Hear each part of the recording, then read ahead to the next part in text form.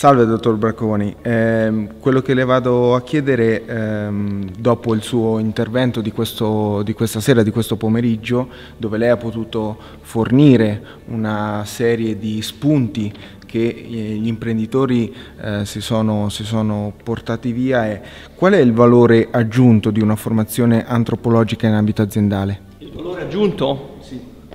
È, è tutto non c'è un valore aggiunto, è il valore, la formazione, come l'hai chiamata tu, antropologica in realtà. Perché? Perché tutto nasce, e questa è la nostra vera rivoluzione di Facciamo 31, tutto nasce da un'innovazione che in realtà è un'innovazione conosciuta da 3.000 anni, quindi sulla eh, possibilità, sulla probabilità, sulla facoltà, sulla volontà di portare alla luce i tesori nascosti che sono dentro la mente di ognuno. Questo ognuno oggi è anche il principale attore no? delle aziende competitive, che si chiama dipendente, che si chiama manager, che si chiama amministratore delegato, che si chiama, chiamatelo come volete, ma comunque rimane sempre un uomo.